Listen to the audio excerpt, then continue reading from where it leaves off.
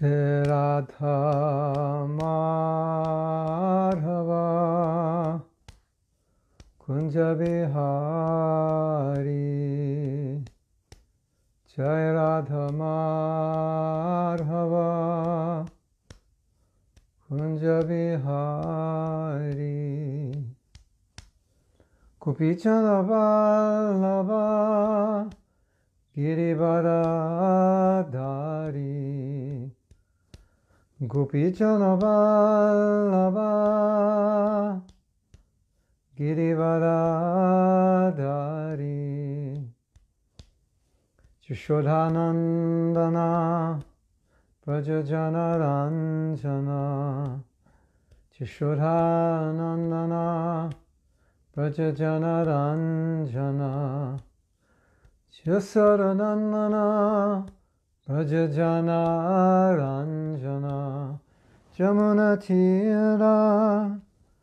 Banachari Jamuna Tira Banachari You can chant with me Jaya Radha Madhava Kunja Bihari Jai Radha 말하와 군자비하리. 구피자나바나바. 기리바라다리. 구피자나바나바. 기리바라다리. Jishodhanandana Braja Janaranjana Jishodhanandana Braja Janaranjana Jishodhanandana Braja Janaranjana Jishodhanandana Braja Janaranjana Jamuna Tira Vanachari Banachari Jamuna Tira Banachari Jiradha Madhava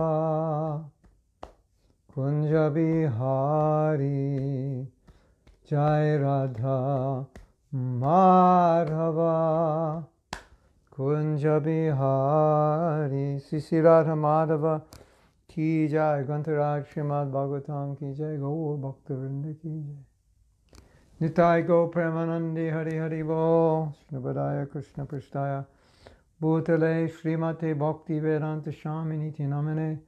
Namaste Saraswati Deve Gauravani Prachadini Nirvisesa Sannivadi Prashad There's.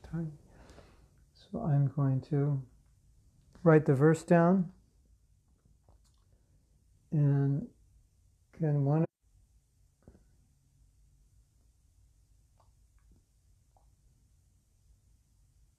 so it's one dash nineteen thirty seven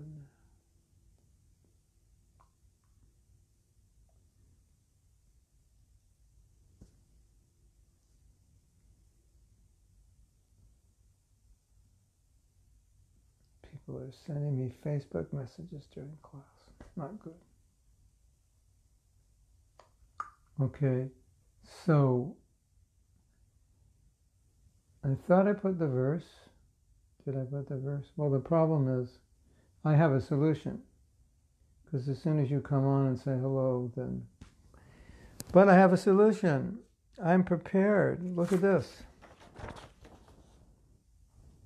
Can you read that or is it backwards? it looks backwards to me. How do we get it not to be backwards? Turn it upside down. Put it this way. You see it through the back of the page. I guess this didn't work, did it? Tell me, how do you see this? Do you see it backwards? Backwards, yeah. See, if we had a real, if I use a real camera, this wouldn't happen. Does anybody know how not to make it backwards? I'm just using my phone. Use a mirror. So I put it in a mirror and then hold the mirror up. I don't have a mirror. What about my computer? That's probably going to be the same thing, right? Yeah. I have to turn it around backwards. okay, so you, one of you intelligent devotees is going to figure out there must be a function on the camera so it's not backwards. I have an idea. I'll turn the camera around. This could work. Hold on. Hold on. You're not going to see me, but we're going to try it this way.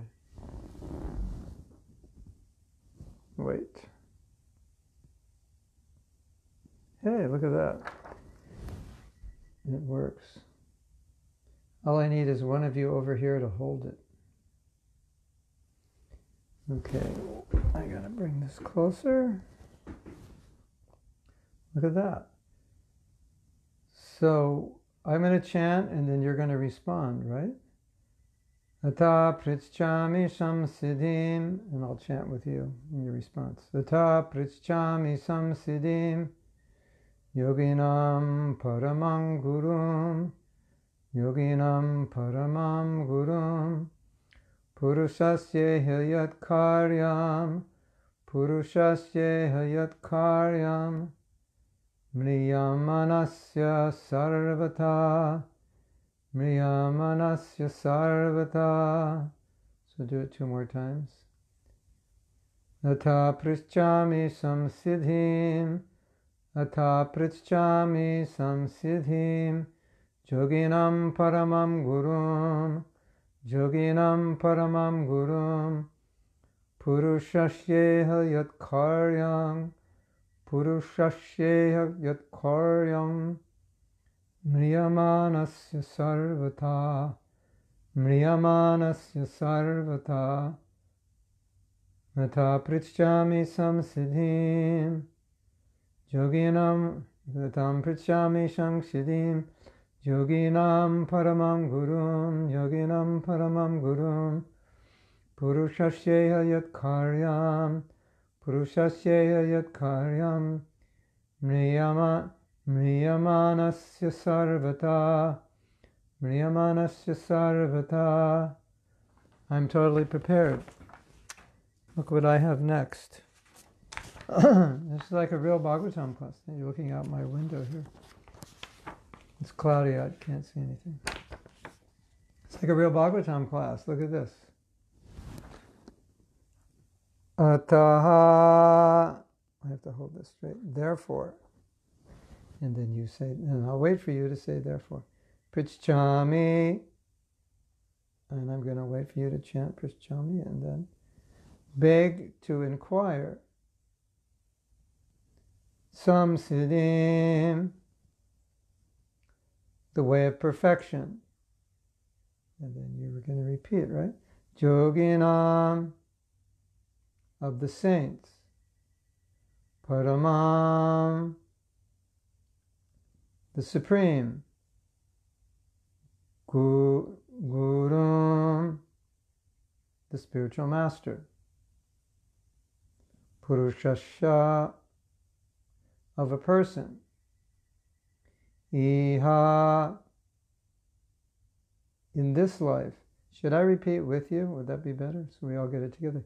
Yat, yat, whatever, whatever. Karyam, karyam, duty, duty. Mriyamanasya, mriyamanasya, of one who is going to die, of one who is going to die. Sarvata, sarvata, in every way. Now we have the translation. And I will explain why I chose this verse in a moment. Translation You are the spiritual master of great saints and devotees. I'm therefore begging you to show the way of perfection for all persons and especially for one who is about to die. So let's repeat. You are the spiritual master of great saints and devotees. I'm therefore begging you to show the way of perfection, show the way of perfection. For all persons, and especially for one who is about to die. Okay, so this I believe, let's go back, you can see me. This I believe is the is the second to last verse of the last chapter of the first canto. And this is, as you could tell, this is Parikshit Maharaj inquiring. This is where Bhagavatam actually begins. So he's asking him because he's about to die. He said, "What what must I do? What is the duty of someone who's about to die?" What is, yes, what is the verse? He said, "You understand. You know. I'm showing me the way of perfection." And as we mentioned yesterday, Parikshit Maharaj chose not to counteract the curse, but took it as Krishna's mercy that he must want me to die because he had protected me when I was young, so now he must want me to die. So there must be a purpose in this, and then I must prepare myself for dying by going to a sadhu and finding out what should I do, what's the best thing. So this is an example of what anyone should do when they know they're going to die. And I wanted to read two other verses that come after this because um, there's a sequence of thought. And I've chosen this verse as you may be able to understand now. Um, because of the deaths that are going on in the world, because of the coronavirus, and it's obviously it's on everyone's mind, especially so many are in lockdown, and so you have a lot of time to read about it and get the statistics of what's happening to who. And I wanted to talk about death because now it's something more real for all of us potentially because this virus does kill a certain percentage of people, different percentages in different age brackets. And so it's it's definitely there's a you know apparently a greater threat of death now than there was a few weeks ago. So I want to go to the next verse, which is see it's not the next verse maybe the next verse or two verses later. It's the Srimad Bhagavatam 211.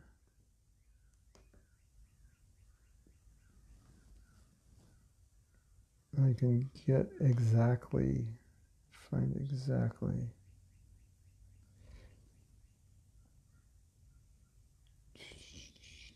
It's interesting.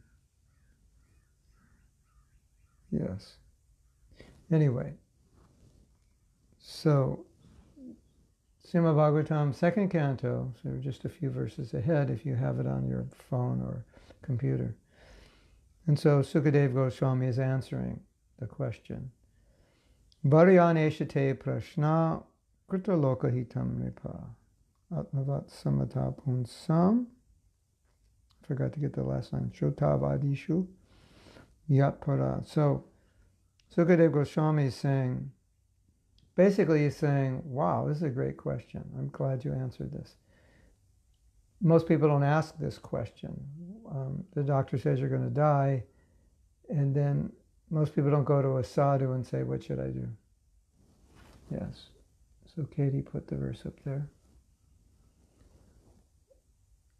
My dear king, your question is glorious because it is very beneficial to all kinds of people. The answer to this question is the prime subject matter for hearing, and it is approved by all transcendentalists. Now, this is really interesting. Sukadev Goswami is saying the prime, the, the most important thing you're supposed to hear about is, uh, the most important question you're supposed to ask is, what do I do? How do I face death? Even if you don't know you're going to die. Like Parikshit Maharaj had seven days. But even if you don't know, it's the best question. So Sukadeva Goswami is immediately praising this question, basically saying, like, nobody asked this question. And when people find out they're going to die, they're not really thinking about what life is all about and what's the purpose and where's the sadhu and I need to listen to him. Mostly they're lamenting that I have to go, give up my sense gratification. So therefore, Shukadeva Goswami is praising Parikshit Maharaj. We said this is this is the question, and he says, and he's saying, the answer to this question is the main thing you're supposed to hear about. Uh, we're all hearing about coronavirus, so I don't know. Maybe if we die today, we'll become a coronavirus in our next life. So, this, you know, this is a, such an obvious, simple instruction, but I think it's important that um, Sukadeva Goswami is, is uh, saying Varyan, Varyan means glorious. This question is such a good question. You ever like meet somebody that's interested and they ask really good questions and you, you get you feel really good, you feel really excited, you think this person's intelligent, they're asking the right questions. And so Sukadeva Goswami's yes, this is the right question. And just like Arjuna asked the right questions, Parikshit Maharaj asked the right questions. Um, he's asking questions for us. He's Parikshit is inquirer. He knows how to ask the right questions. So Sukadev is just saying, yeah, this is the right question. Then I skipped to 216, because this is a famous verse. And we're going to base most of what I say off this verse and one other verse. And I've I've got references from different lectures and letters or Prabhupada's talking about this topic. And I want to elaborate on it and I want to put it in a context that I think will really help us. So this is 216, Etavan Sakti Yogyabhyam Swadharma Parinishtaya Janma Labha Param Punsam Ante Narayana Smriti. So you may recognize this verse from the last line, Ante Narayana Smriti. Ante means at the end.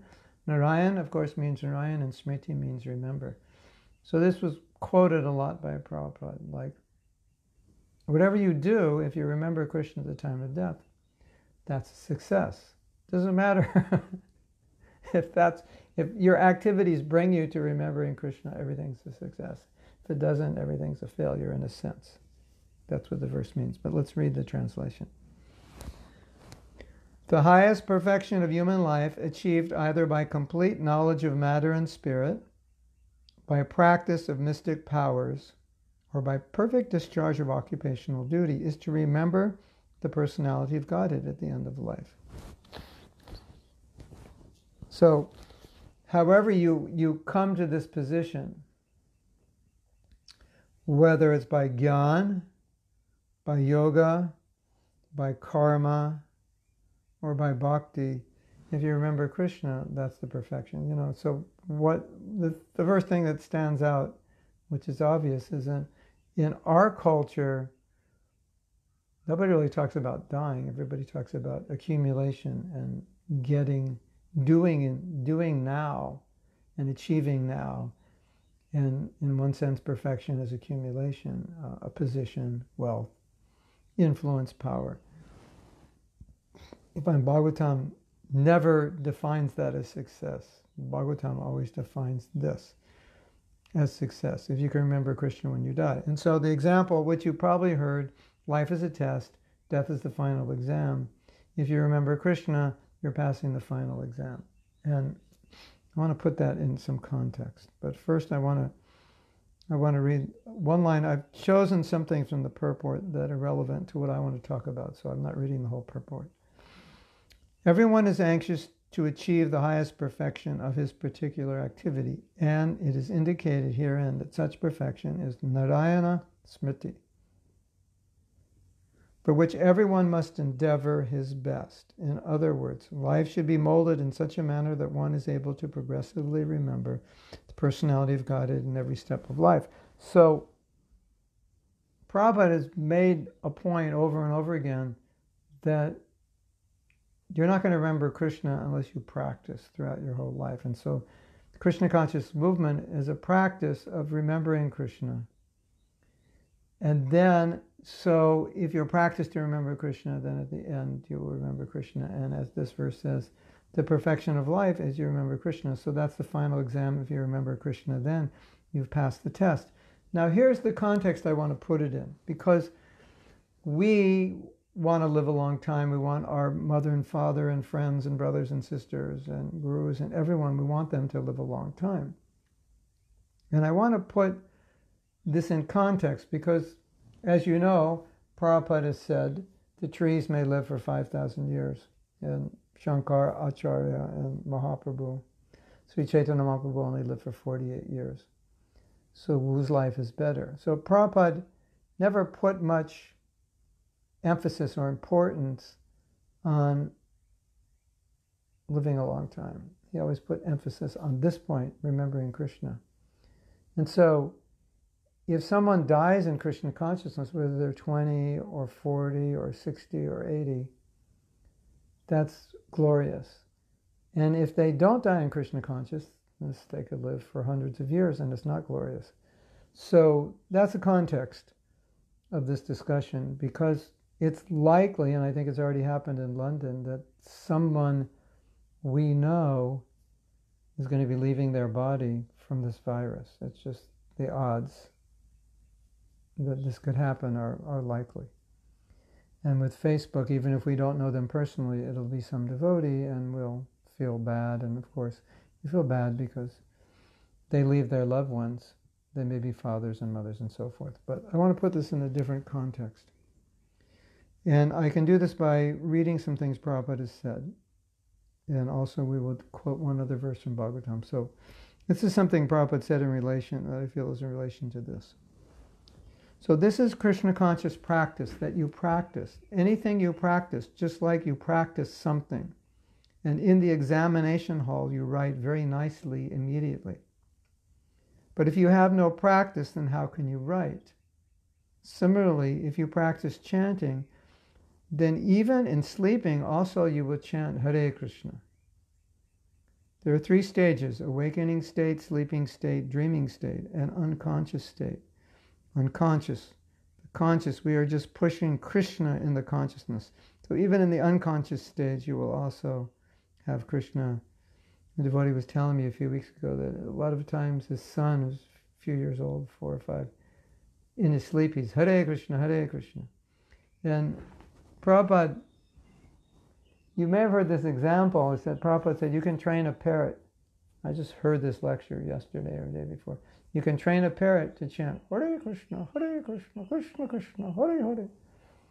He said, but when the cat comes to eat the parrot or whatever bird it is, then he doesn't chant Hare Krishna. He chants ah, ah, ah. So we don't want to. So Prabhupada said we don't want to be like that. Um, so again, the point Prabhupada's making here is you practice, and if you practice, practice, practice, then at time of death, you're so practiced to think of Krishna that that's naturally where your mind will go. And then if you remember Krishna when you die, that's perfection. So I'll continue reading this lecture. So if you are fortunately able to come to that perfectional state, which means conscious of Krishna at, at death, then this life is the end of your material existence. You enter into the spiritual world, you have your eternal life, blissful life, and dance with Krishna. That's all. Let me read this again, because this really, this really establishes kind of the basis of what I want to talk about.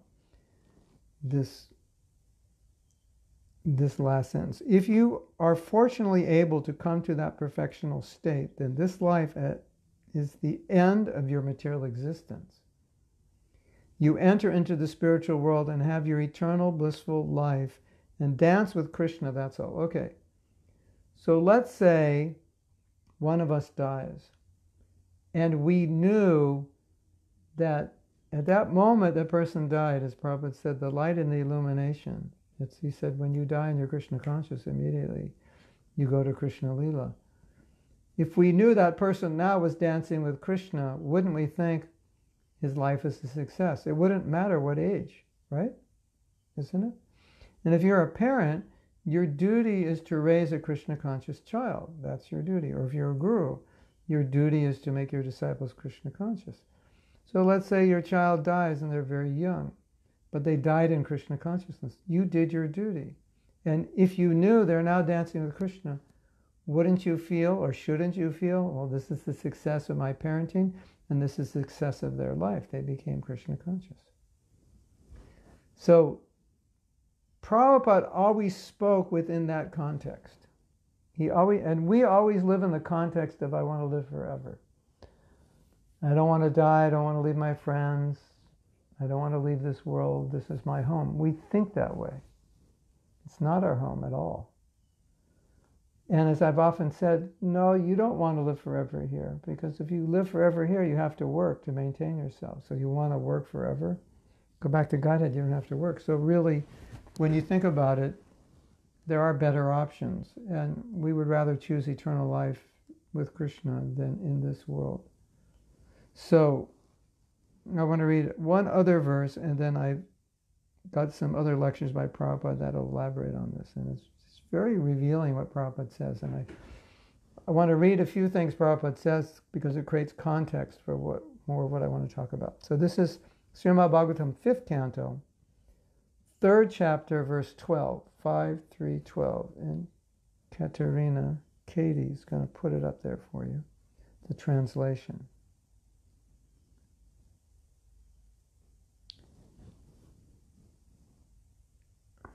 There's a 20 second delay between when I speak and when you hear.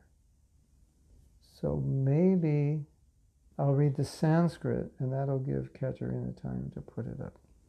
The Sanskrit is in prose.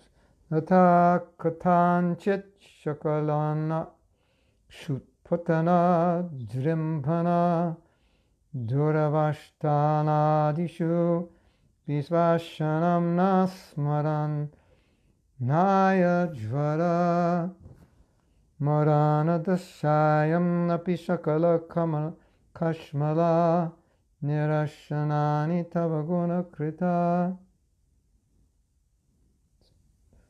Namadhyayani Vanchana Gochorani Bhavantu No, she didn't get it up. Did she get it up? Katerina, where are you? Everyone, is that the right? No. Starts, Dear Lord. Well, it's not up. Yeah, get up the English. Yeah, perfect. Dear Lord, we may, we may not be able to remember your name, form, and qualities due to stumbling, hunger, falling down. You're going to have to bring it back. Just, I don't know if you can do that stumbling hunger, falling down, yawning, or being in a miserable diseased condition at the time of death. Where there is high fever, high fever, yeah, high fever, that's part of the coronavirus. Uh, as a side point, if you read the story about the Shiva Jvara, it said one of the blessings or benediction is you won't get fever. So I think maybe as a precaution, it doesn't hurt to read that story. And if we have faith, maybe we won't never we will never get a fever. Interesting, huh? So let me start over again because I interrupted that. Dear Lord, we may not be able to remember your name, form, and qualities due to stumbling, hunger, falling down, yawning, or being in a miserable disease condition at the time of death when there is a high fever. We therefore pray unto you, O Lord for you are very affectionate to your devotees, please help us remember you and utter your holy names, attributes, and activities, which can dispel all the reactions of our sinful lives.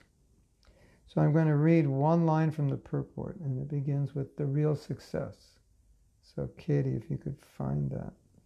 The real success in life is Ante Narayana Smriti. So, this, if you don't know this saying, Ante Narayana Smriti, you can remember it. Ante at the end, Narayan, Narayan Smriti. Ante Krishna, Sham Sundar Smriti. The real success in life is Ante Narayana Smriti, remembering the holy names, attributes, activities, and form of the Lord at the time of death.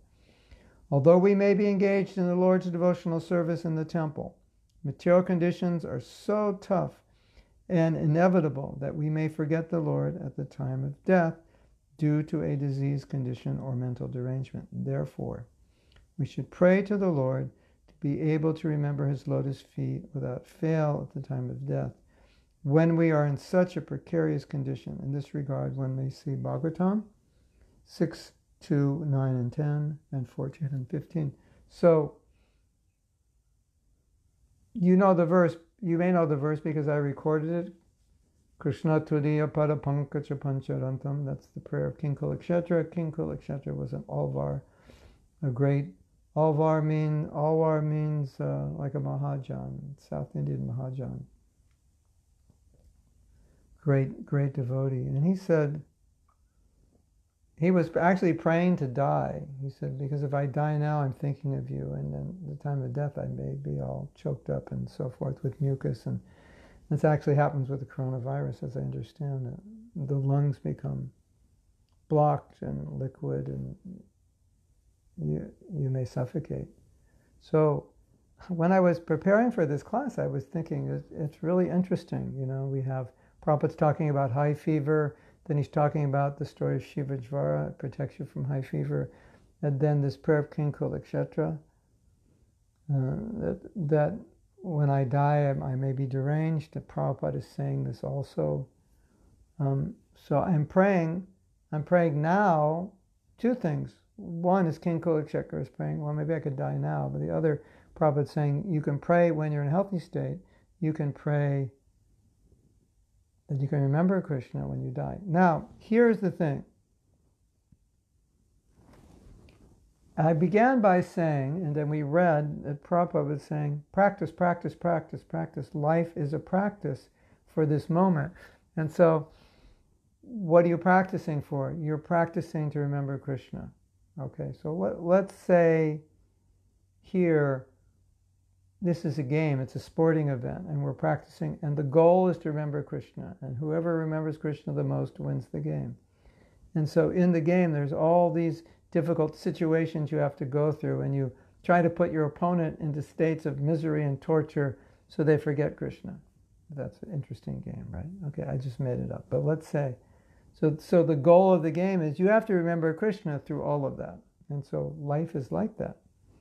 And so in so many places, Prabhupada would say, the goal is to remember Krishna, to be absorbed in Krishna. Um, always remember Krishna, never forget Krishna. Um, chant when you chant the holy name. The you know devotees say we can talk about this another time. The devotees say a lot of times we hear you just hear the name, just focus on hearing. And Prabhupada did say that. But Prabhupada said something else. He said that the goal of chanting is to be absorbed in Krishna's Nam, Rup, Guna, Lila, to be absorbed not in just hearing the name, but in his form, qualities, and pastimes. He said, but if you can't do that, if you can't be absorbed in thinking of his pastimes and form and qualities, then, well, yeah, you want, well, here, let me answer communism. If you can't do that, then just hear.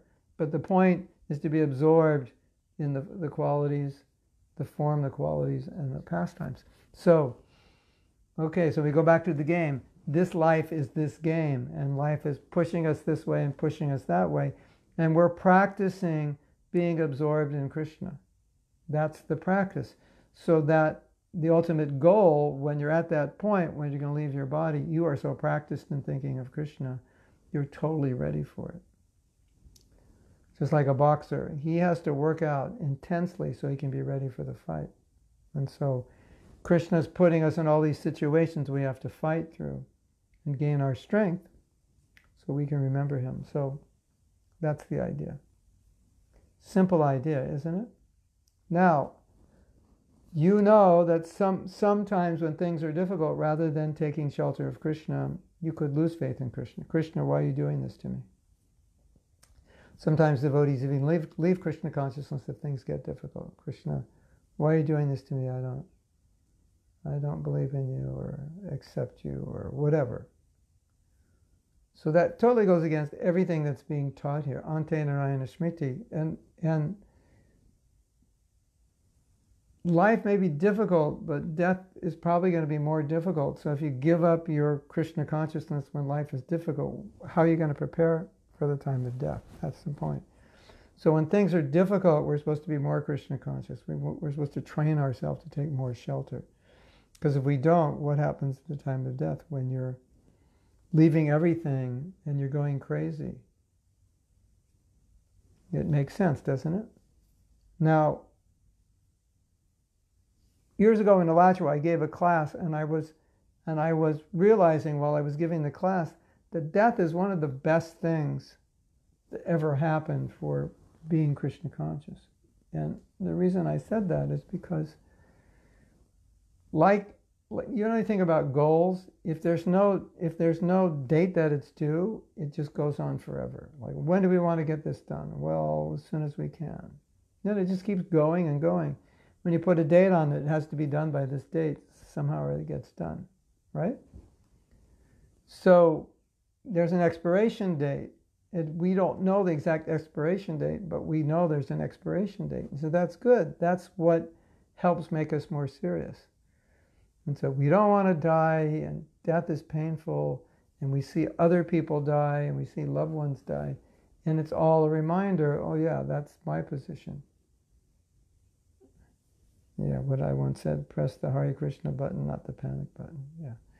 So, all these things help us. Krishna created all of this to help us. We need it. If, if life is too long and we don't see death and we're not getting old and gray hairs and wrinkles, we, we just put it out of our mind. But so Krishna created this temporary nature of this body and world to actually help us tremendously. So if we can put death in that context, that is actually good. Now, a lot of people are putting posts on Facebook that you know this coronavirus is it's making us think more. And one thing it's doing, at least for devotees, it's just bringing into focus the realities that as I said yesterday, that sometimes we try to keep out of focus because they're kind of depressing. We just want to be happy and peaceful. Who wants to think about death? It's a morbid thought. But actually, the reality is that as devotees, we're supposed to think about death as we can see from these verses that they're about death and and Sukadev Goswami didn't say, Oh, why do you have to talk about death? It's so depressing. He said, What a good question. I'm so glad you asked that question. This is the best question. And everybody should be talking about death. Basically, that's what he's saying. Everyone should be talking about death. This is this is what you're supposed to be talking about. Nobody's talking about death. Everybody's talking about their next vacation, how they're going to make more money, how they're going to, you know, find this girl or guy and get married and move to their favorite place. That's what everybody's talking about. Nobody's talking about, I could die and I have to be Krishna conscious. So when that question is asked, he's saying, yes, this is the question. This is a good question. Nobody, nobody asked this question. Only someone intelligent would ask this question. You know, you find out you have seven days to live. Your question is, how do I get to Disney World as fast as I, I can? I've never been there. I want to see it. Right? What a wasted life. So, this is from a, I believe it's from a letter, 1975, February. Or it could be a lecture in Mayapur. No, no, no. Oh, this is a great one. This is a great one. So, here's the context. I was there. Prabhupada wrote this letter. I was, well, I came after, but I know the context. So there's a devotee named Odalami Odalami was a married man who had heart complication, and the doctor told him he only has a few months to live, or maybe six months. So he asked Prabhupada if he could become a Babaji and just chant all day and prepare to live. So he left his wife, he put on white. He was wearing, like the Goswamis, just a little half cloth, gamsha, white, and no shirt and he was just chanting all day. So this is what Prabhupada says to him, and this is this is what is so important and, and the context that Prabhupada's coming from. This is Prabhupada's context. context. It is the mercy of Krishna that you are getting fair warning of your nearing death. So rather, you know, if we, we hear Odalami has a heart problem, he's going to die, our natural instinct is, well, that's so bad so unfortunate because he was at that time probably 25, 26, 27 maximum, maybe even only 23. I was 25 at that time. And he would only be one or two years older or younger. So we'd think, such a young man, he has heart disease, he's going to die. That is so sad. That's our first response from the material perspective. Right? Isn't it? So Prabhupada says, it is the mercy of Krishna that you are getting fair warning of your nearing death. Now you must become very serious to prepare to meet death without fear by being fully absorbed in the lotus feet of Krishna. You must be very careful and always praying to Krishna that you will not forget him at the time of dying. So now Prabhupada's saying, okay, this is really good. He's not saying, oh, this is so bad. He's saying, hey, this is good news. You know you're going to die. That's really good. If you know you have a certain amount of time, then you can prepare. So the Prabhupada says, okay, so since you know you can prepare, your business now is to prepare. You must be very careful, always praying to Krishna that you will not forget him at the time of dying. So we had read previously that Prabhupada said that we should prepare to die. That's what life is for, and especially if we have this calling, we should be preparing. So life is a preparation to meet death. If you know you're going to die, it's the final, you know, cramming for the final exam. If your heart is weak, do not take part in so much service. It will be better for you to chant more, read more, eat less. Like that, you can engage yourself. Everyone has to die sometime, but the problem is that most men your age are thinking, I will live another 50 years. But now you have been informed that in your case you will not live so long. Take advantage of this advice, advance notice, excuse me. Consider it a blessing and prepare yourself to go back home, back to Godhead. So look at Prabhupada's attitude. Prabhupada's attitude is to get everyone back to Godhead. That's what Prabhupada came for, right? So Prabhupada's looking at his disciple and he's thinking, You are in such a good situation. You know you're going to die. You can prepare yourself fully for going back to Godhead and just sit down and chant. And then he's saying, most people your age think, well, they're not going to die for another 50 years. That's not true. Number one, it's not true. And number two, this is glorious. So even though you're 25 years old, you can die in Krishna consciousness. So Prabhupada's, Prabhupada's not thinking it's glorious if you could live 100 years. He's thinking it's glorious that you could die at any time in Krishna consciousness. It doesn't matter how old you are. So that goes against the grain of thinking, right? Oh, Odalami, he was such a young man, he had to die. Anyway, he never died. He got, he was cured. And this is a side point. I was there. I lived next to him. I was in Detroit in 1975. He was living there, and I was in the room next to him. And he stayed up all night and chanted. He only ate because he was Babaji, he only ate when they brought him prasadam. He couldn't go down to get it. So you hardly saw him. And when the doctor told him, you're not going to die, he gave up Babaji, he went back with his wife, and I think he even may have left Krishna consciousness. So it would have been better for him to have died at 25, don't you think? As far as I re- remember, that's what I was told. We definitely went back to his wife, and I haven't seen him or heard about him, and I was told he left Krishna consciousness. So it would have been better that he would have died, right? And prepared, and in a few months died and gone back to Godhead. So Prabhupada is trying to get us to go back to Godhead. If he can get a 25 year old to go back to Godhead, fine. You went back to Godhead 50 years earlier than most people. What's wrong with that? No problem. We say, oh, such a young man, you know, this and that. But Prabhupada's saying, Prabhupada's saying in a different context. Prabhupada's context, I've told you this story, some of you have heard this story. In 1975, in Mayapur, Prabhupada's on a morning walk. And he drops the bomb, there's going to be World War III, everyone's. Oh my God. So when Prabhupada, you can hear this, it's recorded. When Prabhupada dropped the bomb, one devotee is saying, well, what should we do? Should we take precaution?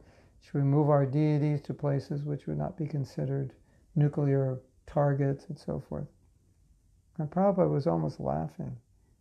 And he turned to the devotee and said, Do you think you're not going to die? You're going to die if you don't die of nuclear weapon, you know, next month. You're still going to die. It doesn't matter. 50 years, it's all insignificant. So he was, he was shaking us up, shaking our minds and saying, you know, if you die now in 50 years, it's not really different. But from our material point of view, we think, well, if you die when you're 25, that's really bad. That's really sad. You were so young, you had your whole life ahead of you. But if you, you can prepare yourself to be Krishna conscious and go back to Godhead, why do you need a whole life ahead of you? So what are you going to do with that life? Okay, you can serve, you can preach. That's fine. But if by Krishna's desire, you can go back to Godhead, why not? And so there's so you know, people don't think like this. And it even it even makes Prabhupada look like like in a sense from the material point of view, people could think, oh, he's so hard hearted, he doesn't even care. Then there's another story. Jayananda Prabhu. Jayananda Prabhu has leukemia. He's going for alternative therapy. He's spending a lot of time and a lot of money on this therapy, and he's not really getting much better. I think he was getting a little better, but he wasn't satisfied with the results. And his service in sadhana was compromised in the hospital. And he didn't like it because they wouldn't let him preach there. And he really wanted to preach. So at one point he wrote Prabhupada a letter. He said, I'm spending so much time and money, I don't, I don't want to stay in the hospital and try to cure. I just want to let this disease kill me. And Prabhupada agreed. He said, yes.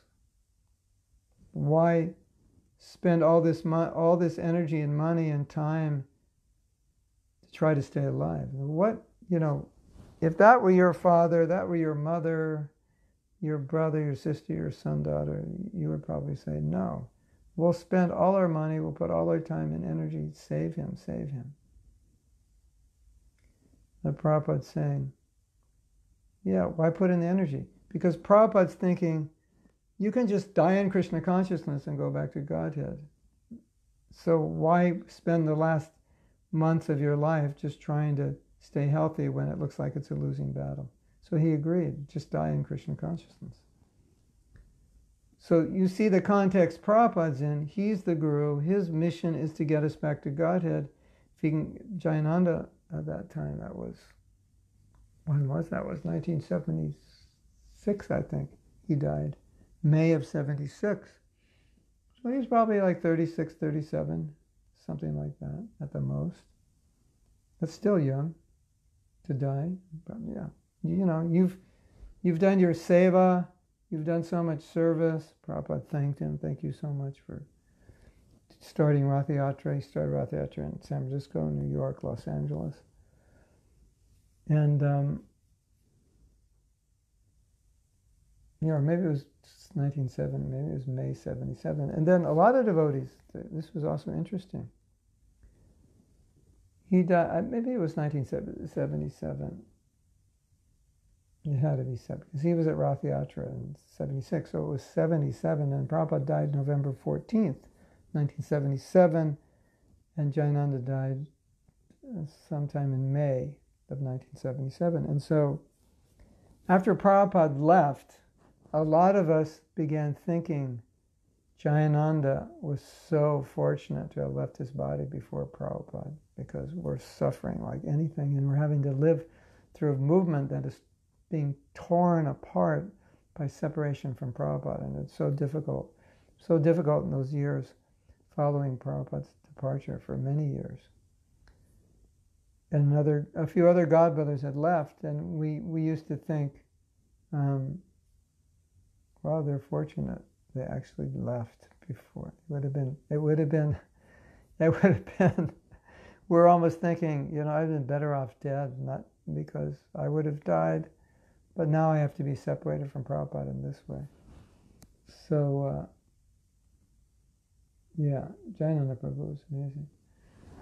So, that was Prabhupada's attitude. He wasn't at all sentimental, and he wasn't, as, as we could see, Prabhupada wasn't afraid of death. And in his own life, when he knew his time was there, well, he knew he thought he was going to die many times and there if you follow Prabhupada's life you can see where there's times where he was saying I may not live much longer because he had a heart attack he went back to India I think 67 and he was in San Francisco as far as I remember he left from San Francisco. Actually, I can't say. I can't remember. My brain is not clear on this. He came back. He went back to India because he was very ill. Yeah, he was in San Francisco trying to get better, but he wasn't getting better. And he said, I have to go back to India. Weather is better, Ayurvedic medicine. And the devotees didn't know if he was coming back, and he didn't know if he was coming back. And he would say, I may not live. The movement's in your hands.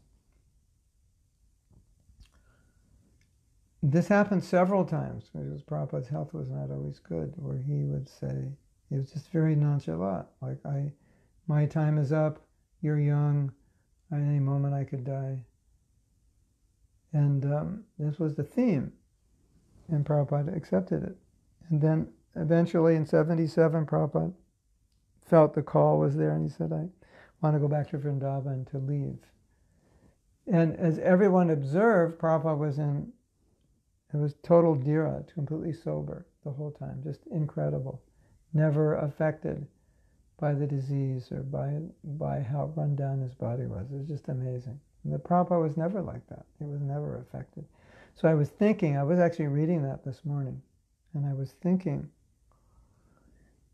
if we're very affected by disease and difficulty, it should be a little bit of a concern because death is a lot is is difficult and there's discomfort as there is with disease.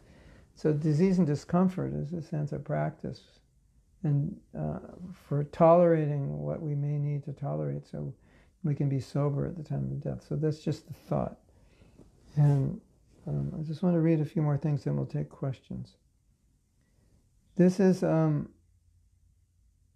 now this is this next quote. It, it is a little bit of off on a tangent, but it relates to the current situation of coronavirus. There are many things out on the internet that we're told we can do to prevent it. I just read, I just heard today, ginger, turmeric, turmeric root, ginger root, and aloe vera. That makes you so strong that the virus will not take hold in your body. Okay, sounds good. I was also told ginger. Um, I put something out the other day, things you can do. Um, drink hot water every 20 minutes. Uh, we've also heard the virus can't exist in warm weather over 133 Fahrenheit, which is something like 45 or 50 centigrade, and so people are inhaling hair dryer or steam to kill. You know, so there's so many things. And, and as I said yesterday, Prabhupada, he said, you know, take precaution, do what you can. But here's an interesting, I believe this is a letter. This is very interesting. Life cannot be prolonged by heart transplant. Isn't that interesting? Life cannot be prolonged by heart transplant. You cannot increase the duration of life. One can perhaps give some relief to disease. That is another thing. But the duration of life is destined. From the dead body, one cannot bring life. Similarly, listen to this. If you're not awake, time to get become awake. It may appear. Yeah, make this louder. Bring the mic closer. This is a nice statement. Even closer. It It may appear that one is prolonging the duration of life by medicine or heart transplant, but that is not the case. If one lives four years after having had a heart transplant, then by nature's law, he was destined to live four years with or without having a heart transplant. So, what is the value of the heart transplant? That's really interesting, isn't it? That could be the source of controversy. But someone could say, well, maybe this, that, and the next thing. But whatever. Let's take it at face value.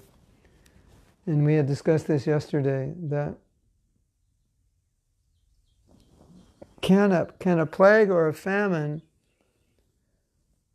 or a pandemic interfere with people's karma, or is it just is it just facilitating their karma? So, based on what we know, it's facilitating karma. So, it doesn't mean we don't take precaution. We we we stay home, take care of ourselves, do what we're told, wash our hands, etc., etc. Stay away from people. We take all precaution. But if we're meant to live or we're meant to die, that's there. But let me read a little more. Only by the yoga process can one prolong the life. That's interesting. By stopping the breathing, keeping in samadhi, the breath period is being not being misused. you stop. You have so many breaths. You, at the time you're born, you'll have 10 zillion breaths, right? So you do yoga and you stop in the breath, so you live longer. And you're running, and it shortens your life.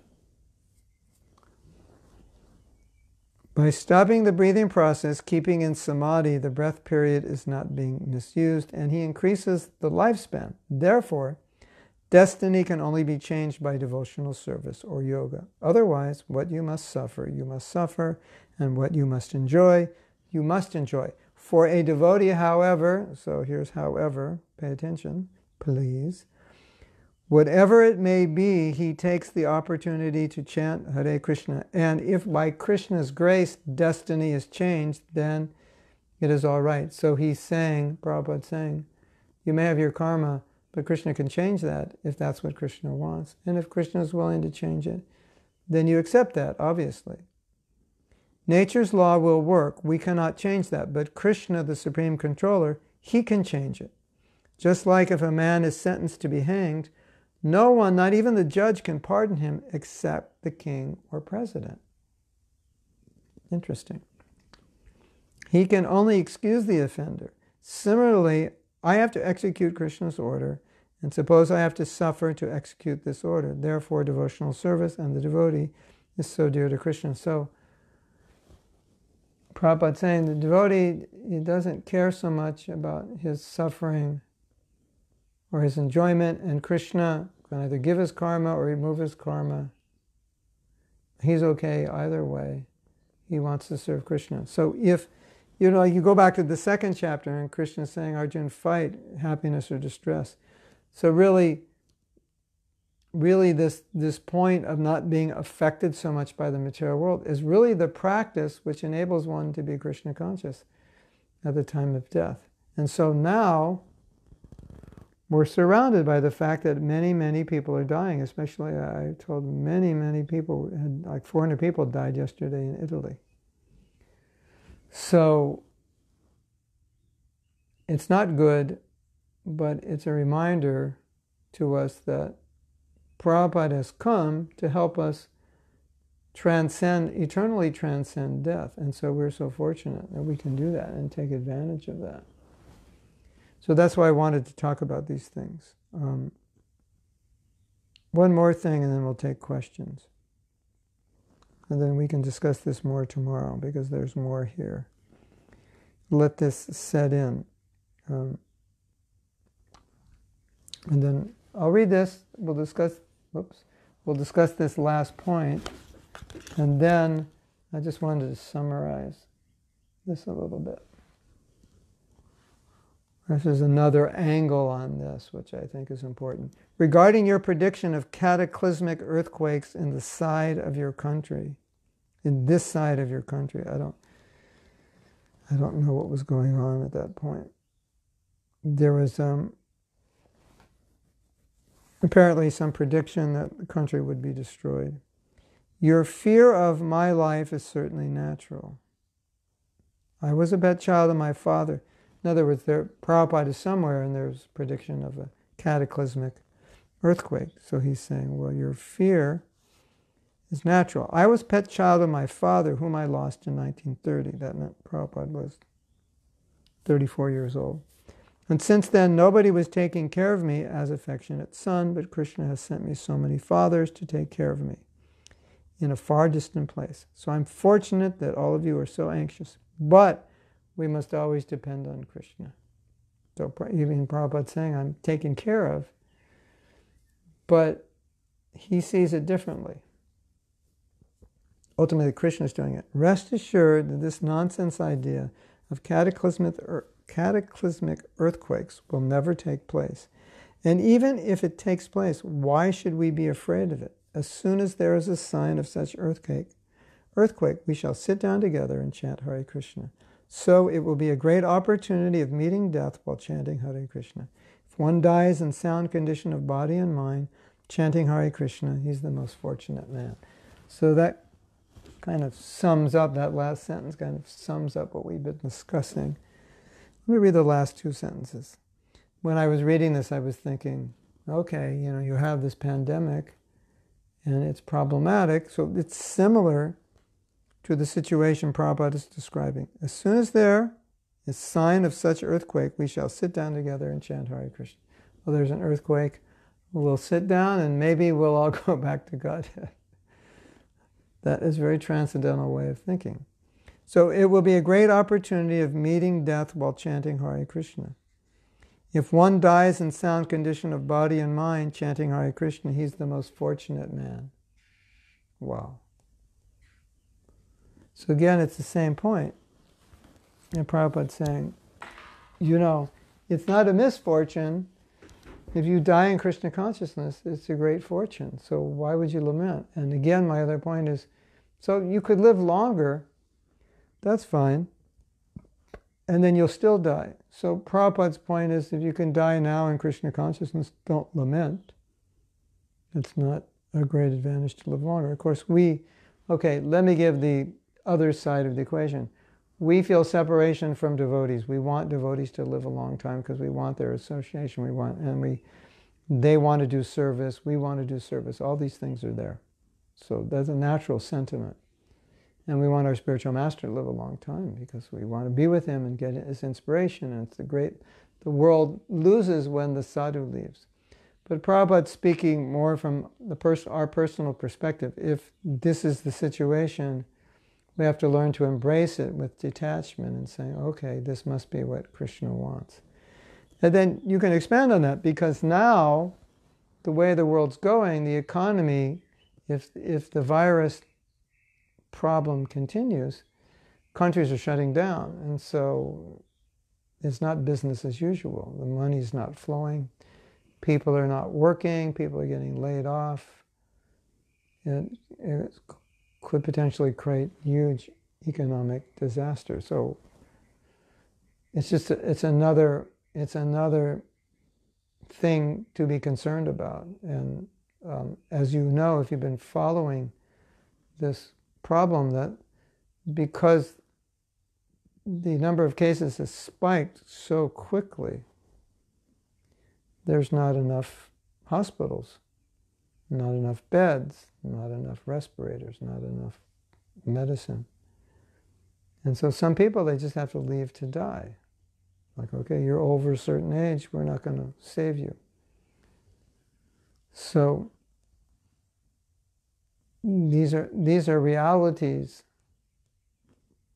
that we as devotees should learn to deal with. Okay, so questions. Now I have to go back because you may have some questions. So I have to go way back to the beginning.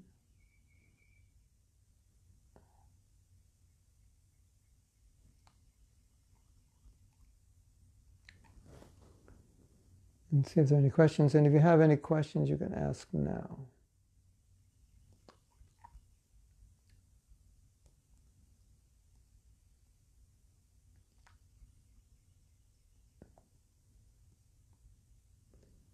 And as I once said, when Prabhupada asked for questions and there weren't any, Prabhupada said, What? You know, you know everything?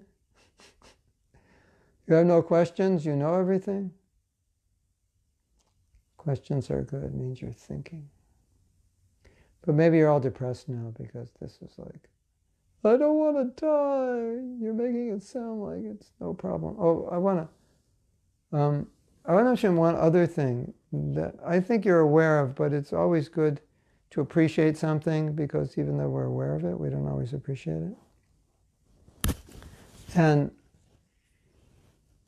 Um, Shravaniya, she's from Poland. She lives in England, and her this year she lost her parents, not at the same time. She recently lost her father, and and we all know how difficult it is to lose loved ones, and especially parents. And, whenever this happens, I think, I always think, we are so fortunate because we have knowledge to help us cope with this. We have knowledge to help us understand this.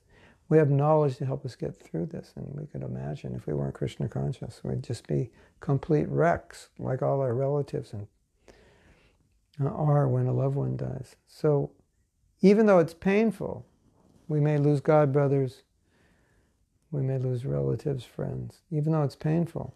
We're so fortunate. Prabhupada has given us knowledge by which we can deal with it, cope with it.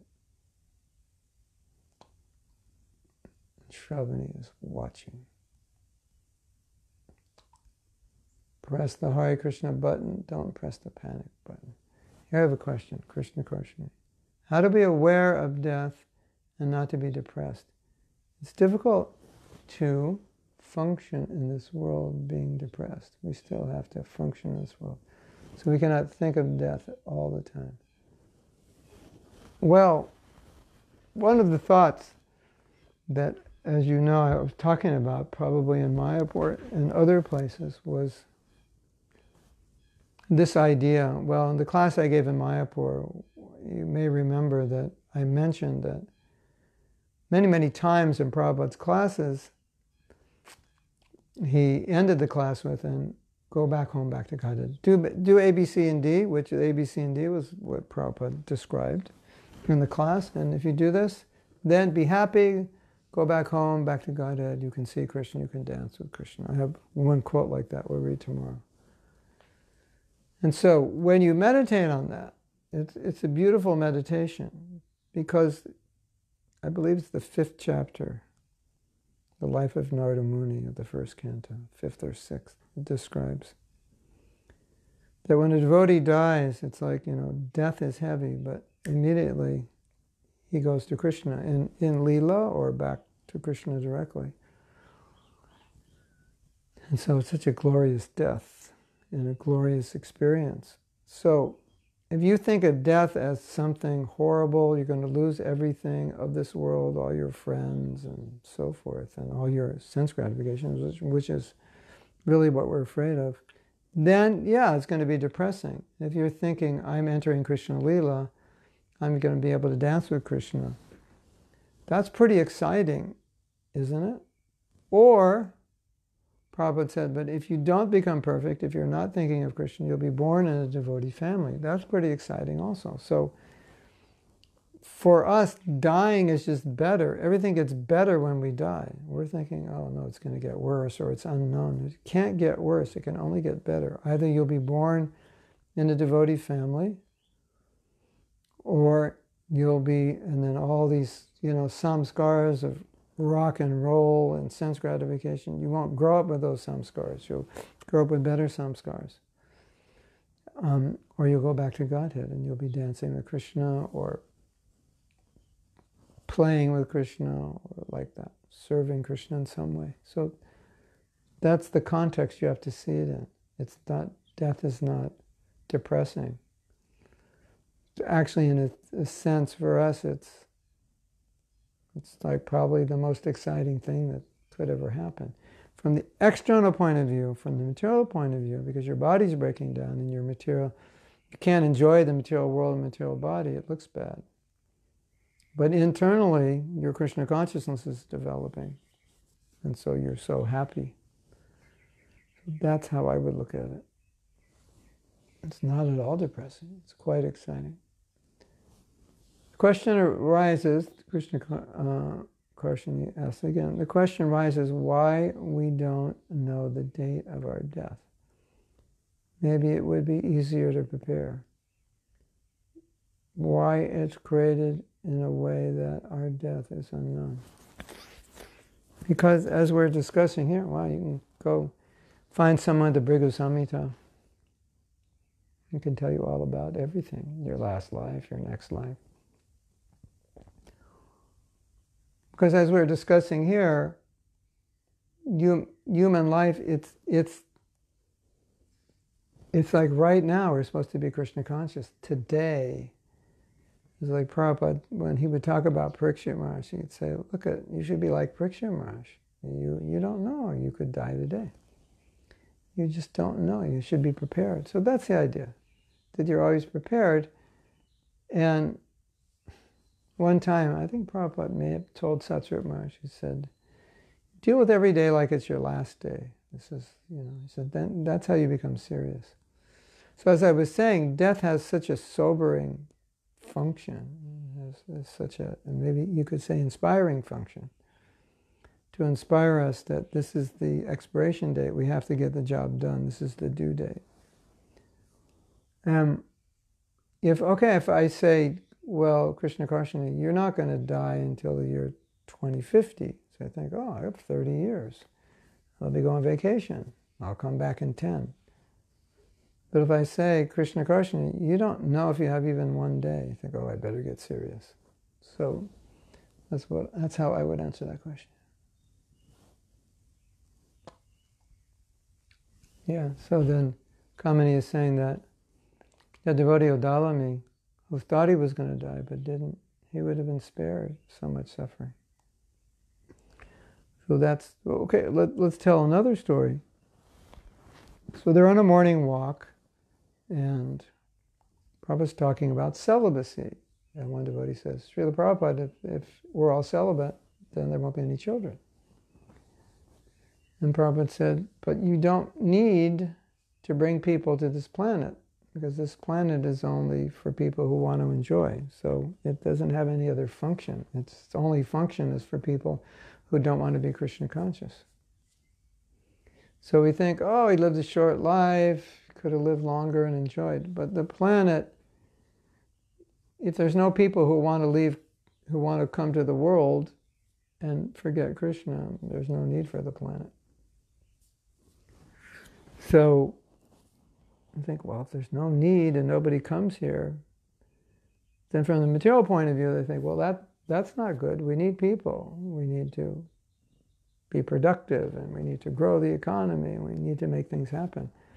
And the answer is, no, you don't. That's just for those who want to be separate from Krishna. But if you want to be with Krishna, you don't need to come here. And if no one wants to come here, this world is not needed. It serves no function. So that's the idea. So, you know, if he would have died when he's 25 and gone back to Godhead, wow, he would have gone back to Godhead 50 years before most of his godbrothers. Fine. Sounds good.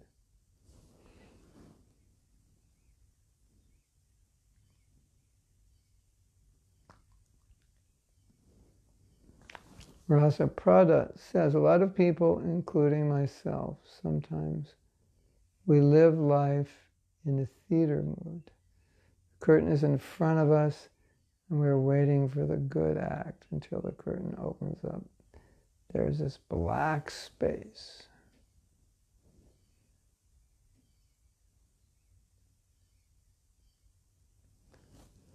And we ask, where are the actors? And just one person shows up and said, there's no show, it's been canceled. We're going into a panic stage because there's no act. We just think about the money that we pay. That is the only word reaction for us. I'm not exactly sure what you meant. I think you mean life is not the way we planned. Um, and well, at least we can't control. You know, there. If we could accept death positively, if we could accept all the things we can't control, if we could be steady no matter what's going on, then wow, our material life and our spiritual life would be so much better. Kamaniya says, when a great soul like Prabhupada says such a thing regarding leaving the body, we know that it's out of endless compassion. But then when a neophyte, for example, such as me, were to say such a thing, Seymour. It can definitely come across as being hard, hearted, and inappropriate. Why is that? Is it because I am simply parroting it because I have yet to realize it? Um, that could be. I think, I mean, there's a couple of reasons. You know, the spiritual master is supposed to give the tattva, and friends are supposed to sympathize. So if you're a friend and you just give the tattva like you're the guru, it's kind of, well, Prabhu, you know, if you don't die today, you die tomorrow, so why lament? It's all Krishna's mercy, and, you know, give me a call if you need me, and, you know, good luck, you know. Friends don't do that, so it's not going to come across so well. But if you're the guru, then you give the tattva. And you know, someone has to separate from their body, it's a big attachment. And the guru's words are meant to break attachments. So that's how it works. Guru's gonna so yeah, you know, I we had this discussion once many, many years ago in Los Angeles. And um, someone was making the point, even I, it might have been me, that you know you have to be sympathetic, but you still can't compromise the truth. So then Jayadvaita Swami said, "Well, how do you do that?" Or, I don't know if he was challenging me or asking for clarification. And I and I felt that you sympathize with their suffering at the same time you give them the knowledge that will help them.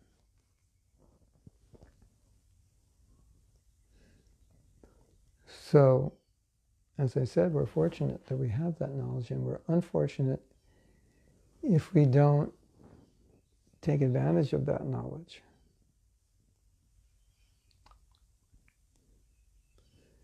That's what I find. I feel I find it sad when devotees are undergoing some difficulty for which Prabhupada has given the solution. And they're unnecessarily depressed or lamenting, when in fact, the knowledge we have would solve that.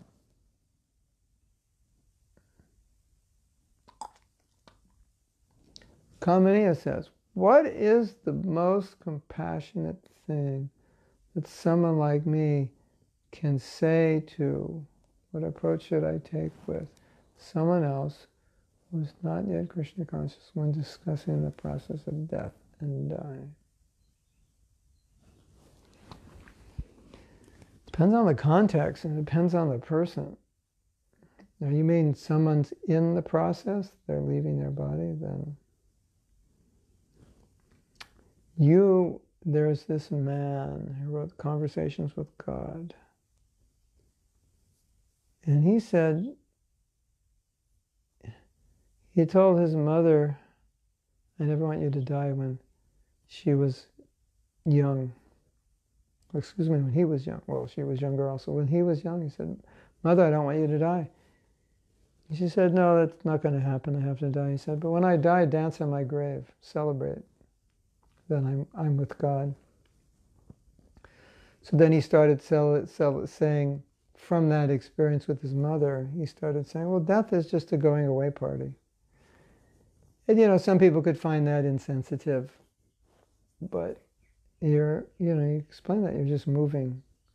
You're moving to another place. And right now, if you become more God conscious, you can move to a better place. So let's work on that because you're in transition and you have an opportunity to transition. Now, we gave that example of the parrot. When the parrot dies, he just squawks. And Prabhupada said, because he never practiced genuinely being Krishna conscious. That was just imitation. So you might say, well, how far can this woman progress? She could progress to the point of becoming a devotee in her next life if she begins practicing. So that's where I would start. I've I've found that you know people people in that position, they're so receptive. They're so receptive if they know they're leaving their body. So it's really the, the best time. And, um, you know, I, I never understood why we don't do more preaching, hospice preaching and hospital preaching, because it's the best time. that's when they're the most open for answers, at least some people. Uh, Ram Govinda says in that letter, Prabhupada states the death is predetermined and only bhakti or devotional service extends it, not modern medicine. And even a pandemic doesn't interfere with the karma, is the same principle.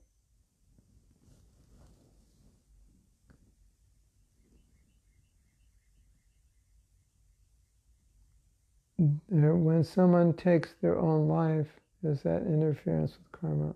Yeah. Or is will predetermined? We would say, it's an interesting question. Okay, if I kill myself, I'm not supposed to, but I become a ghost because it's said that you're destined to live for a certain time and you've interfered with your destiny. So and so therefore you have to remain a ghost till your next body's ready because according to destiny you should have lived 50 years. You killed yourself at 25 you have 25 years to live without a body until your next body's ready. So yes you've interfered with your destiny by killing yourself.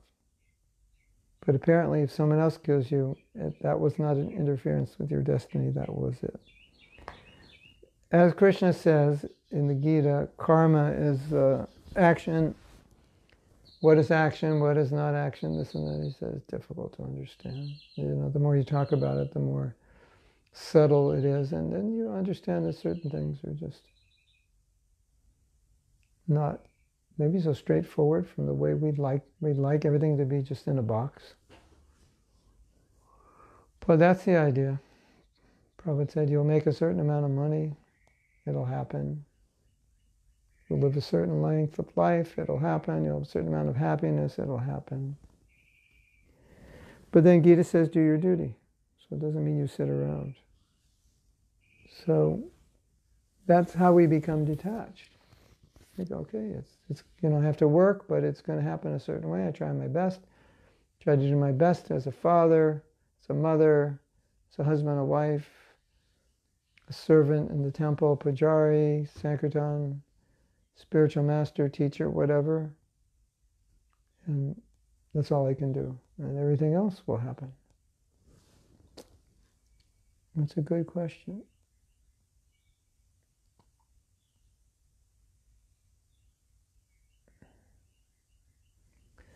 What if while chanting I'm thinking of Krishna but not really pray, paying attention to the sound vibrations of the holy name? What are you paying attention to? If you're thinking of Krishna, you're paying attention to Krishna. So the thing is, Krishna, if you're paying, Krishna is not different than his name.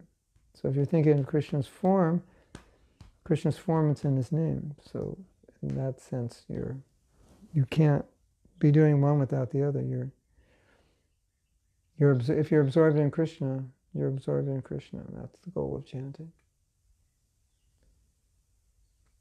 Nama-Rupa Guna Lila, it's all one. It's the same Krishna.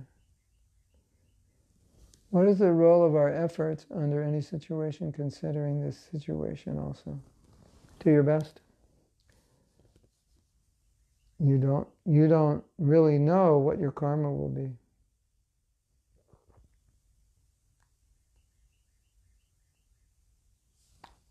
So you do your best according to your intelligence and then accept the results.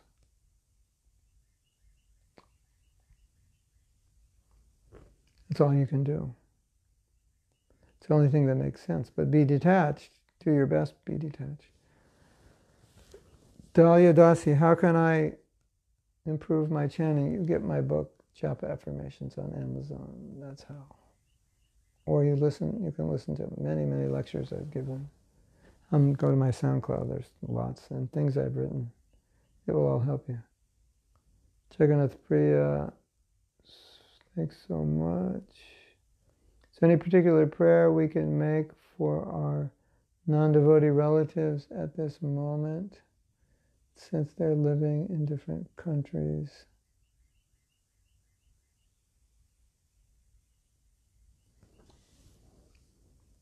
Since they're living in different countries and we don't have possibility to assist them or giving them prasad.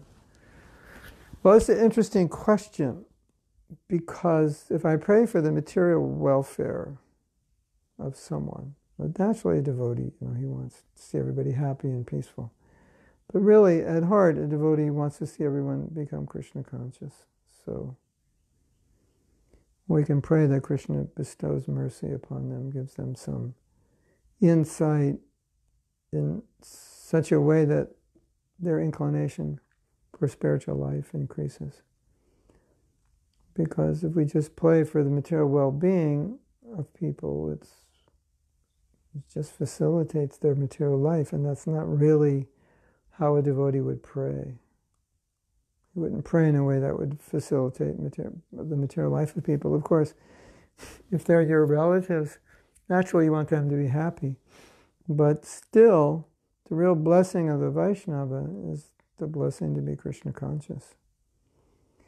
You know, I don't want to sound hard hearted, but you know that story of Thakur Haridas when he was in jail and the prisoner said, Please get us out. And he said, oh, better, you, better you stay here. As you get out, you'll be engaged in material activity. Here, you can't really do any material activity, so why would I pray to get you out? So you have to keep that in mind. The devotee wouldn't pray for the material benefit of people. And when people would, at least there's one story when some man asked Prabhupada for blessings. He said, What kind of blessings do you want? And so naturally, blessing means the family is healthy, the children are well educated, have good jobs, there's wealth, and so forth. The Prophet said, I don't give those blessings. So that's interesting. That's not the kind of blessings a Vaishnav gives. And one time they said, Prabhupada, can we create a rumor that that Radha Rasabihari gives a certain blessing and more people will come? Prabhupada said, no. We don't want to attract people who are coming for material blessings. So we can pray for the spiritual well being of everyone and your relatives as well. To pray for their material well being, yes, it's natural, but if you must do that, pray for their spiritual well being at the same time. Because if they're going to. And then, you know, also the reality that maybe they have their karma and that's what they're supposed to go through or Krishna wants them to go through that. So that's also the mood of the devotee.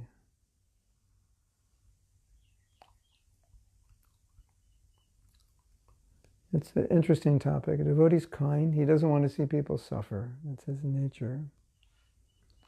But he doesn't want to people see people entangled in the material world.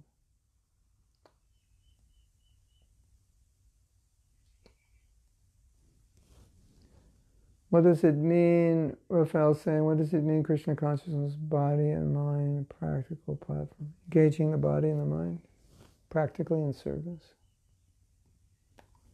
Kamal Uh, asks, is a higher state of consciousness not to desire to go back to Godhead, but only to desire to remain in devotional service?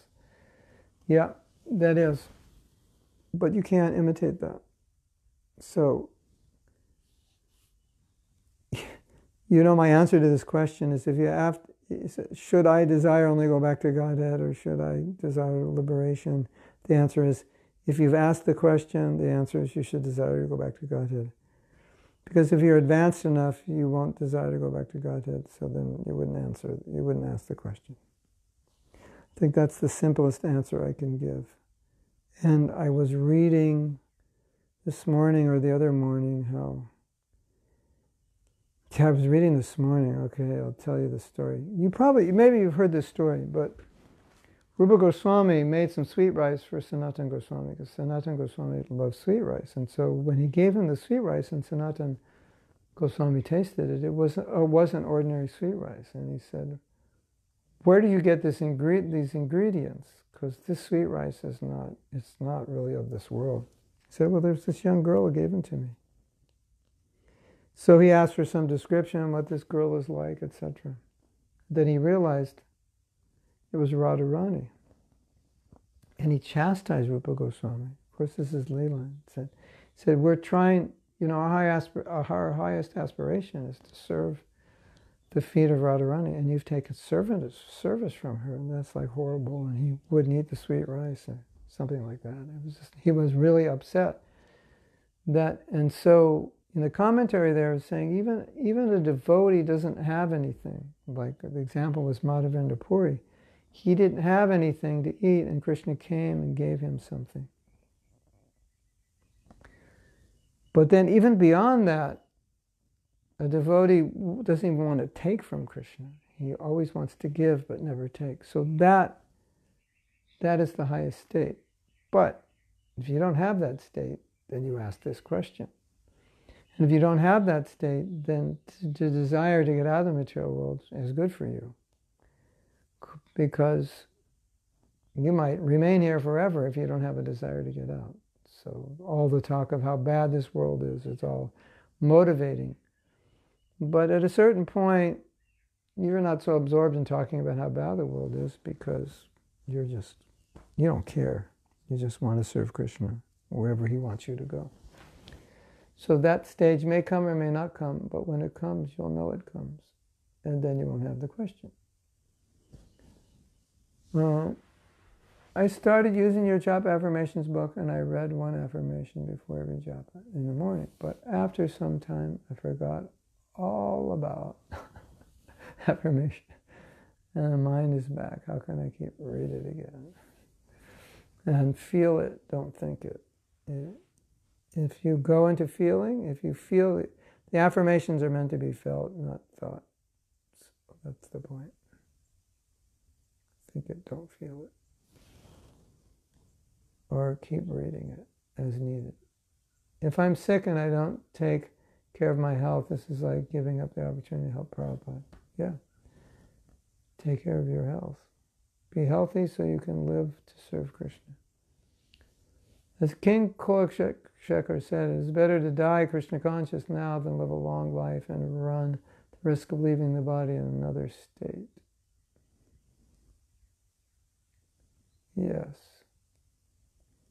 But as Prabhupada said, now you can thank Krishna help me remember you at the time of death, even though you're fine and young and healthy. Um, Konya says, I was asking more when discussing generally, not necessarily when someone is actually, yeah. I think, I think it's still the same answer though. Death is an impetus to um, wake us up, or just the fact that it looms over us. It's an impetus to wake us up. That's the idea.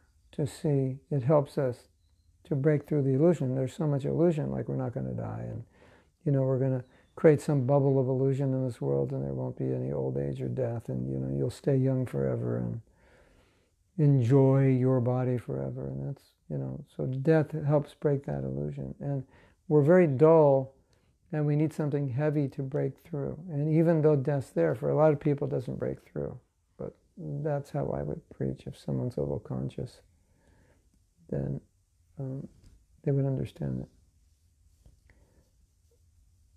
I get certain spiritual realization based on my readings, hearing during chanting, which is a distraction. Yeah, it's just it's just the context of how you chant. If you chant in the context of getting absorbed in hearing and feeling and praying, then a lot of those realizations won't. They just won't come because you'll realize they're distracting you. Now, of course, realizations are good Sometimes they, you know, they're just gifts.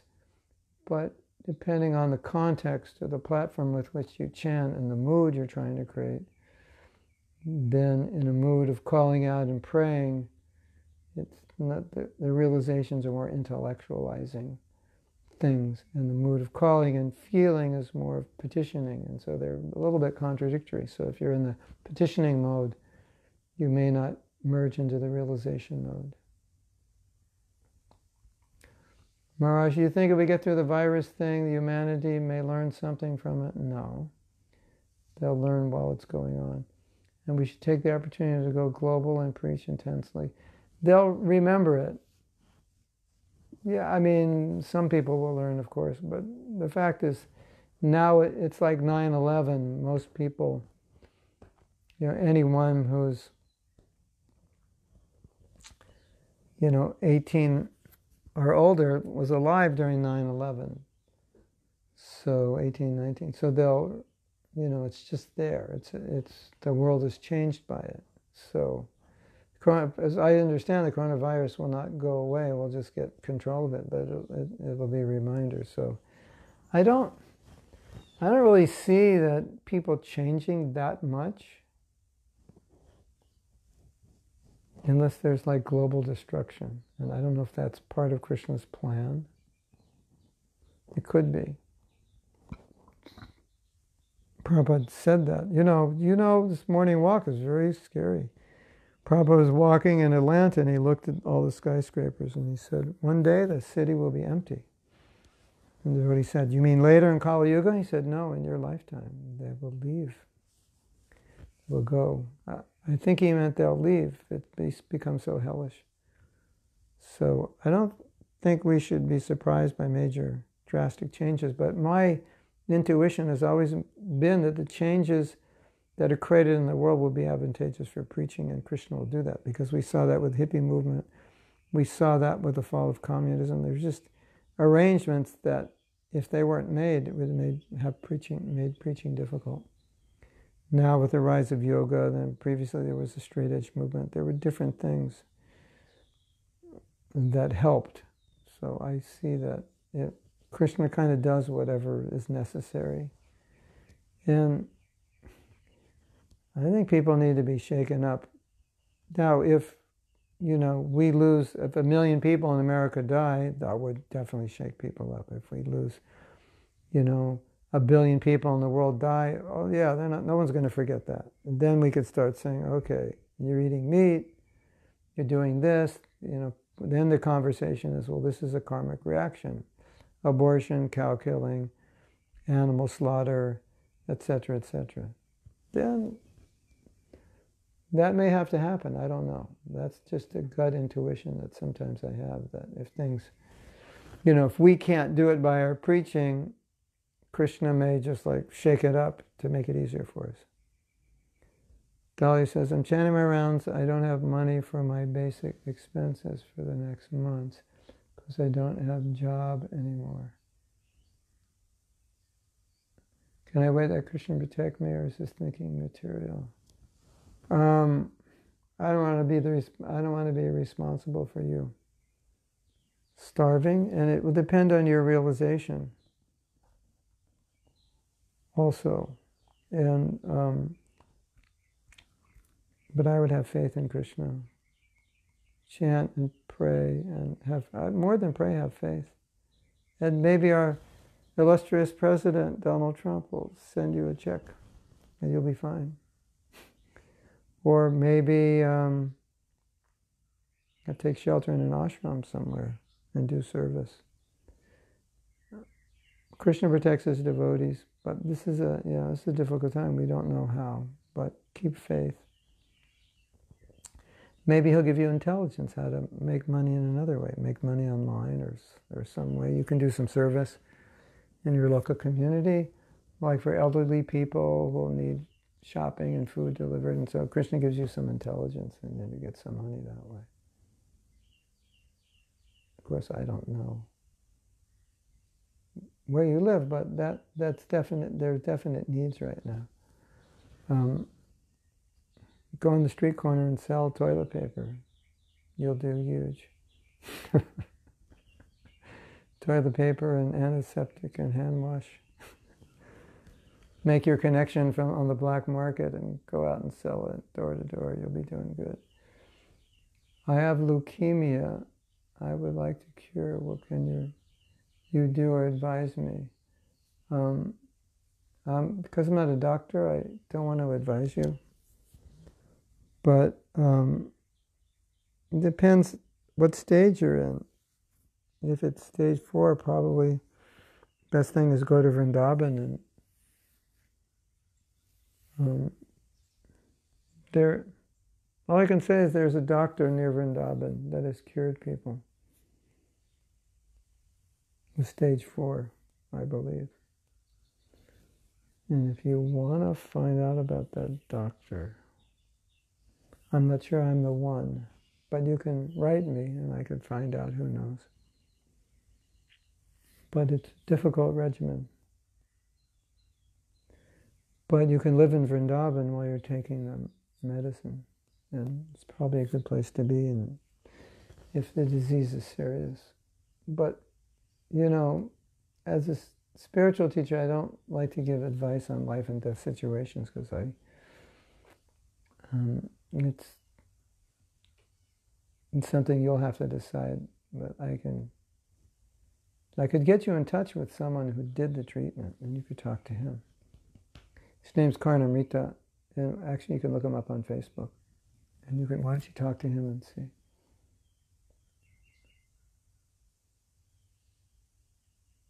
Mm.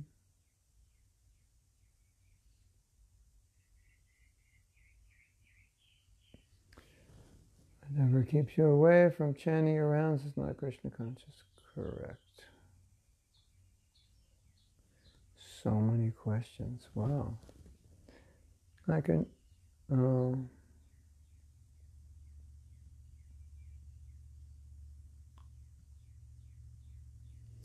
okay, people can help you, give you some direction. So you can get in touch with him. He's saying he can help about making money. Okay, so we're going to end. We'll see you tomorrow. As I said, we'll do every day, and I'm going to go thematically through the Bhagavatam. So we still have some things left to read on this theme, and then as as themes come up from what I feel is kind of going on in devotees' hearts and minds, then we'll we'll discuss those. And relevance is relevance is um, so important in bhakti because we we we have this problem where we can we can get so theoretical and in and in intellectualizing it, it's, it's easy to think we understand something because we understand it conceptually. But understanding conceptually and practically, as you know, are two different things. We can understand conceptually all about dying. But now we have to put it in a practical context. And it's like when this devotee said, Prabhupada, should we do this or that to avoid the war? And Prabhupada just laughed and said, You think you're not going to die? And, you know, when you think of it from Prabhupada's perspective, he's saying, Look at this is what I've trained you for. So how, why are you thinking this way? You know, everything in my books is training you for this. And like we're reading these purports, we're seeing it's exactly what Prabhupada's saying. Training you and you're worried, you should be practicing every day for this moment. So that's the challenge. Uh, Hare Krishna. We'll see you tomorrow, and as long as your temple's closed, keep coming, and we'll have Bhagavatam class every day if you're free, and we'll try to go more deeply into the philosophy. And um, as we go, go more deeply and higher and maybe even get esoteric and totally transcendental. Hare Krishna. Srila Prabhupada ki jai.